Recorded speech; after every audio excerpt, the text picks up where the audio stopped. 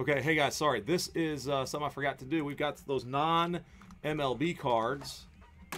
So this is for pick your team number one. That little thing down there, we're doing pick your team. We're doing that in a second.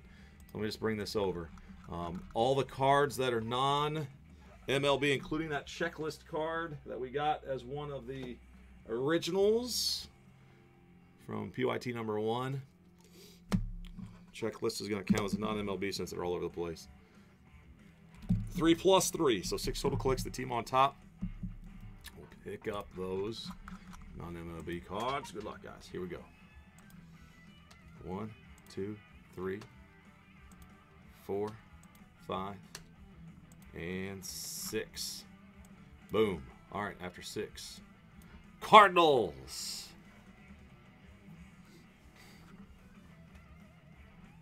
So the St. Louis Cardinals spot, you guys, you'll get the non-MLB on this and the checklist original card. Make a quick note of that and stop saving right there. Boom.